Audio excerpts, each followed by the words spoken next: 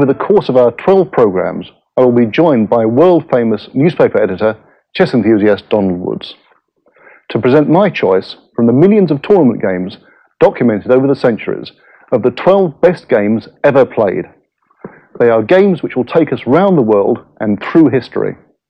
They are games which witness brilliant masterstrokes of chessboard genius, games which often heralded the fate of the World Championship itself. I hope they convey to you, the viewers, as powerfully as they have done to us, the sense of intellectual mystery and mental force which we associate with chess at its finest. We'll be analysing each game in detail, but we'll also be looking at the stories away from the board and at the extraordinary personalities who have helped develop the art and science of chess.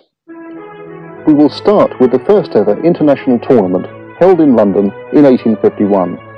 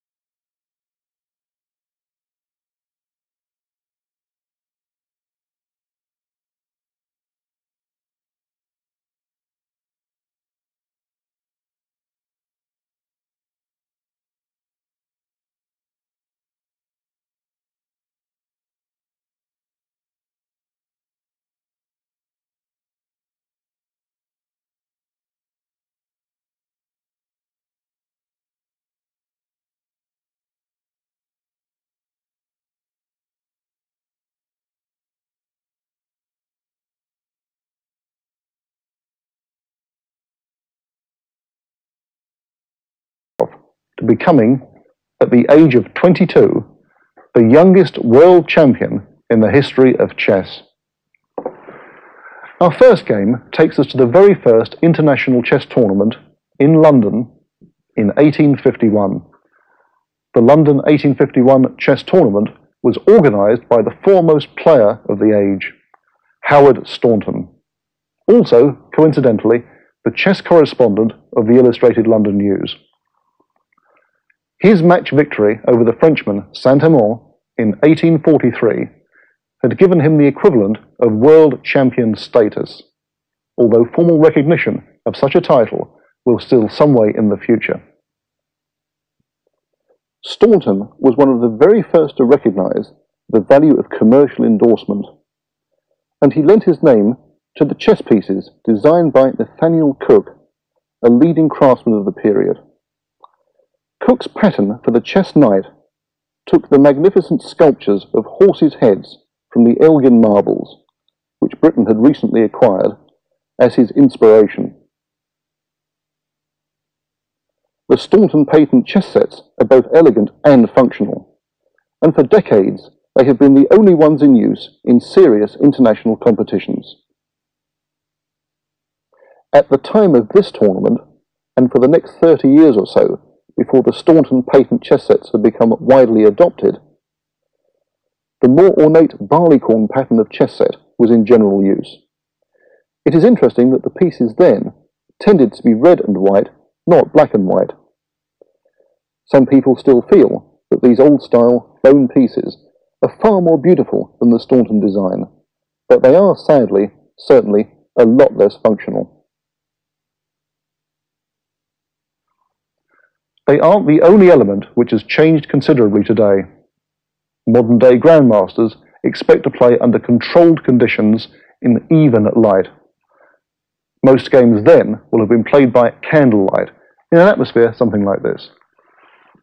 The 1851 tournament crowned Staunton's achievements as a promoter of chess, as he turned his energy and enthusiasm to creating an event which would attract all of Europe's leading players.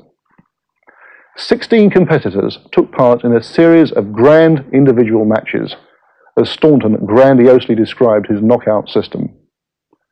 Staunton himself took fourth place, an unexpectedly poor showing, but perhaps one that was to be expected given the great effort that he had expended on organisation and in raising a prize fund of £500, an enormous sum for that time.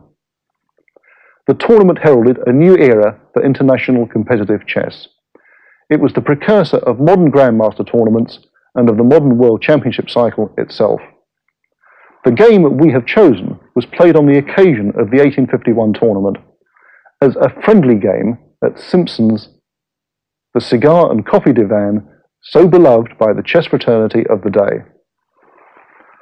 Today, Simpson's operates as a restaurant and is still a favourite haunt of chess devotees. It was won by Adolf Anderssen of Germany, a mathematician who remained amongst the world's top half dozen players until his death in 1879. Anderssen was a quiet, gentlemanly academic from Breslau, where he lived with his mother and sister, never marrying. He later lost matches to Morphy and Steinitz, but dominated tournaments with victories at London in 1862 and Baden-Baden in 1870. Anderssen's opponent was the Frenchman Lionel Kieseritzky. He was the inventor of a three-dimensional form of chess, which he utterly failed to make anyone else understand. Kieseritzky had a reputation as a difficult and irritable personality. When he died penniless, he received a pauper's burial, and no one attended the graveside. Kieseritzky was so dazzled by the brilliance of this game that he immediately telegraphed the moves to an awaiting audience at the Café de la Régence in Paris. He was known there, having installed himself as a chess tutor, giving lessons at five francs an hour. From that day on, this sparkling exploit has earned the sobriquet the immortal game. If there is one game that has been an inspiration to future generations of players, this is it. Anderssen's part in it was later recalled during the 1920s, when his imposingly intellectual features decorated German 75 penny currency coupons where the moves and the diagram from the immortal game itself also appeared. Donald Woods, welcome. I'll be asking you to help me run through the moves of the immortal game in just a moment. First, I'd just like to ask you to tell us about your interest in chess. When did it first develop? Well, a long time ago, Ray. But I wonder if you remember where we first met. Um, no, I don't actually. 1976 in the South African Open. And uh, you were up on the enclosure with the grandmasters and superstars, sort of behind velvet ropes, mm-hmm. and I was down in the middle of the body of the hall, and to my astonishment, you walked all the way down, stood at my board, and I thought, I must have a fantastic thing going here. Master Keene is interested. Mm-hmm. And you did this a couple of times.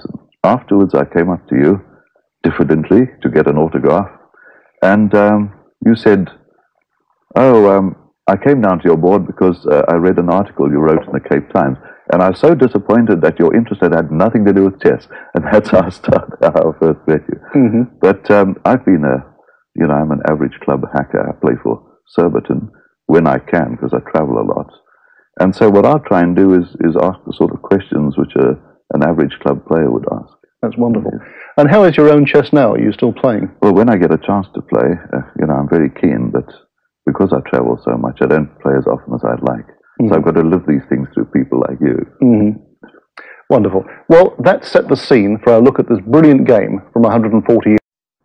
Adolf Anderssen plays white, Lionel Kieseritzky plays black, and Anderssen started off pawn to e4. Kieseritzky, as was common then, occupied the center, and Anderssen played the king's gambit. Ray, isn't that a bit dicey vacating f2 that early? I mean, to the average player. And to the extent that you can say as a general rule in chess. Yes, it also loses a pawn because black can take it. But this is the, the king's gambit was really the main line opening then. When when the modern powers of the pieces were developed in the Renaissance, when chess acquired its modern dynamic stance, um, the king's gambit was one of the first openings that was analysed by the Italian theoreticians, and it stayed popular right up until the middle of the 19th century. And even nowadays, people like Spassky uh, and occasionally Bobby Fischer have played it, and it, it weakens White's king side, it loses a pawn, but you get attacking chances by opening up the f file and it's amazing how many quick wins White achieves in this opening. So it is risky, but it's risky for both sides.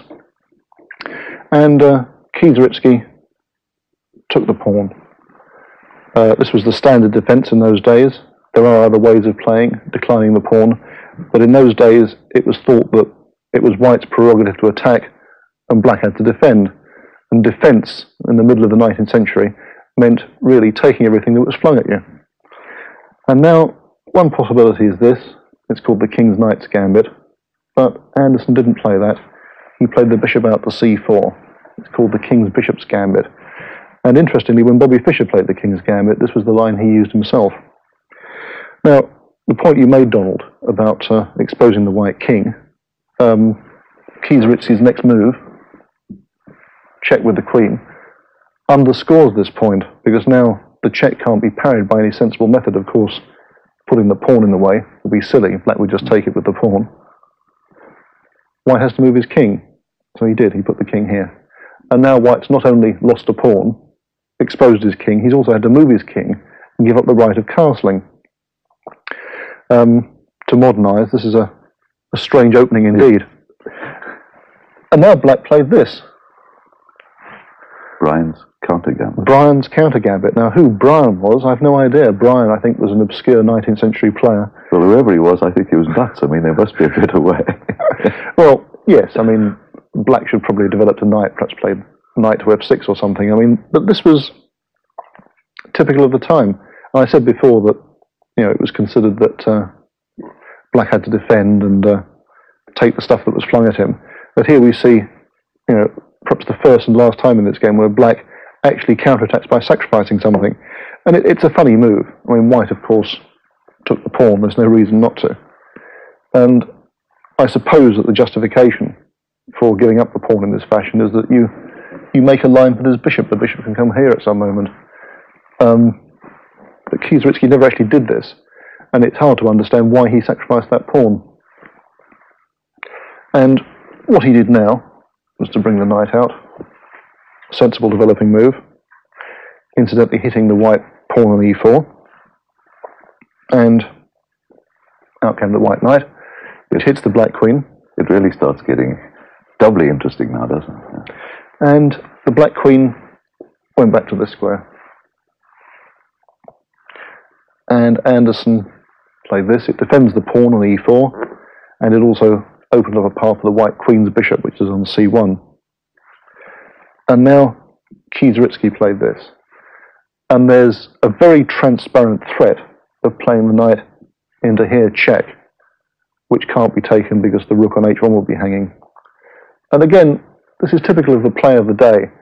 Um, not much strategic forethought and operating with short-term tactical threats, such as this knight to g3 check. But of course White can parry that by playing his own knight to this h4 square, and of course now knight g3 check is rendered nugatory. And the white knight itself is coming into f5, uh, starting the persecution of the black queen, which becomes a theme of this game. So the game was more tactical in those days than strategic. Yes, they, they didn't really think much about long-term advantages. Um, they were really sort of playing for cheap shots all the time. And um, Kieseritzky played this. Now, everyone says shouldn't move the queen too many times in the opening. But he's got an idea in mind. He's attacking the knight on h4 and the bishop on b5. And White stops that by putting his own knight into f5. So you can see that queen g5, as you said, Donald, is rather a short-range tactical idea. It doesn't advance black's position very much. Uh, it, for the sake of really a, an easily stoppable threat, White's now got a piece on f5 in a very strong attacking position. And now c6 attacking the bishop. And I think most people would automatically move that piece. They put it back here, say, to a4, or maybe drop it back here to c4. But Anderssen didn't do that. And what we see now is the start of a most extraordinary attack. I mean, the game now becomes a kind of torrent, an orgy of sacrifices, where Anderssen just doesn't bother about pieces at all. He just plays ruthlessly for the attack. He tries to obliterate his opponent. And it's real caveman barbaric stuff. There's one jab after another. That's right. and he starts off with a move most people just wouldn't wouldn't consider. He plays this move, pawn to g4, attacking the black knight. And of course, black can't take that en passant, this move, because the white bishop on c1 attacks the black queen. So that's out of court. And um, what Kieseritzky does is he drops his knight back to the f6 square, and he must have felt quite happy with himself now because he's still attacking the white bishop on b5, which didn't move, and he has a double threat against the white pawn on g4. So he must have been thinking that really his opening strategy, if you can call it that, or his opening tactics, had triumphed because he has a double attack, he's bound to win material. But Anderssen, of course, had foreseen this, and he now comes up with the justification for his previous move rook to g1. Truly amazing move. I mean, it's, it's just incredible the depth of conception that went into this. He just leaves his bishop on b5 to be taken, which black did. c takes b5. And now we see the point of Anderssen's idea. Pawn to h4. I'd love to see that happen. That's, that's the sort of thing I like to see happening to an arrogant queen. An arrogant queen, right. So Kieseritzky is moving his queen around in the opening and trying to hack bits off the white position and you know, really very provocative moves of the queen. And now the queen itself is in desperate straits. It's only got one square. It drops back to g6, otherwise the queen's lost.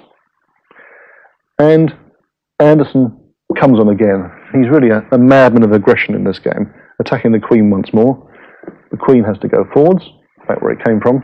But now it's really running out of squares. Running out of options. and up comes Anderssen's own queen, queen to f3. Now White's lost a bishop. He's a whole bishop down. But the threat is bishop on c1, takes the pawn on f4, and that really would completely ca uh, capture the black queen. The queen would be lost. So Kieseritzky has to take drastic measures in order to counteract this. And what he does is he moves his knight back to the g8 square, putting it back where it came from. But at least the queen now has a backwards avenue of escape. White takes the pawn, bishop takes. Queen goes back to f6, escaping the threat. Why didn't he go further, Ray? I mean, well, he go back to d8. But you have to, uh, do you remember the old Beyond the Fringe thing? Get right out of the area. Yeah. You'd think he'd want to get right out of the area. well, I think he's trying to win more material. You see, White's now got a perfect mobilization after his next move. But Black, Kieseritzky, is still trying to win material. Out comes the bishop, hitting the white rook on g1. And the white knight ominously goes into d5. And now White's mobilization is fantastic. The knights are working, the bishop's working, the queen's working. Black's only got two pieces in the game. And what Black does now is the only pieces in the attack that aren't working for White are the two rooks. And Black decides to win White's rooks. He takes this pawn with the queen. And taking the queen's knight pawn with the queen is always, the b pawn with the queen is always very dangerous. In this position, it's especially dangerous. And now we get this fantastic concluding combination that really earns this game the title of the immortal game. Anderssen doesn't bother with his queen's rook on a1, the king's rook on g1. He just plays for the attack. This man is an animal. Bishop d6, just giving up both the rooks. And this is the introduction of what's become known as the immortal theme, where you give up both rooks in the corner, you play for the attack, you just leave the rooks where they are, the opponent slices them off, you ignore it. This is the immortal theme in chess. You don't think that old Kieseritzky was sort of setting him up? I mean, I'm not denying the, the brilliance of, of Anderssen. There was a kind of, of course, he took the rook, queen takes rook check. Uh, it. so it was kind of code of honor in those days, you see. When they were offered sacrifices, they had to take it. They felt they were honor bound to take it. Up comes the king, and now, of course, he takes the other rook. bishop takes g1. And now Anderssen doesn't do anything flashy. He doesn't give a check. He could play knight c7 check, for example. He's two rooks and a bishop down. And now he plays this move, which is kind of closing the net. And Kieseritzky, as a kind of concession to what we would call you know, modern principles, finally develops a piece. But now... Too late. it's too late, and Anderssen's got him. Knight takes g7 check. The king goes to d8. And now it's worth pausing for a minute to look at this position. White's made all these sacrifices. He's really let his position be blown away by this greedy black opponent. And he's got to justify it. He's got to find a way of putting the boot in. And he sacrificed so much, and what's there left to sacrifice? The queen. Donald, can you see the next move? Well, you threw that at me very suddenly there. Um, no. well, Anderssen had to see this a long time ago. I mean, this is move 22 in the game, and he really had to see this possibility at least seven moves back. And this is it, the final coup de grace. Check. You know, he's chucked in the bishop, the two rooks, and now the queen goes as well. Queen f6 check. There's absolutely no choice. Black has to take the queen. And now the final point of this wonderful game, bishop e7, checkmate. Beautiful to watch. And then Kieseritzky bowled over himself, the loser, bowled over with excitement and admiration, rushed out of Simpson's in the Strand, nearest telegraph office, telegrammed to Paris, sent the moves to the Café de la Régence where he was the chess tutor. It's fantastic, isn't it? A Wonderful. Fantastic game. Well, for sheer brilliance. Um, and I must say that, though, Kieseritzky sort of walks in. Didn't he sort of help set himself up in a way? Yes, I mean, Kieseritzky had this reputation as an unpleasant, as an unpleasant person. You know, he was you know, as I said before, he died penniless, as so many great masters have done, unfortunately. Nobody came to Yes, why is that so many uh, star chess players? I think it's, chess players in those days were artists, and they led a precarious existence, and tense uh, attention. often, you know, living off the patronage of, of, of, of rich admirers of the game. But you know, even given this unfortunate reputation, it was a, a, grand gesture to go and telegraph the moves. Yeah. Well, that was a fantastic game Fantastic to start the series, game, Donald. Yes. Very impressive. Good start, and now it's good night from Donald and myself and the chess team at Thames. Next week, we'll be looking at the brilliant game between the first American chess genius, Paul Morphy, and the German master, Louis Paulsen. Join us then.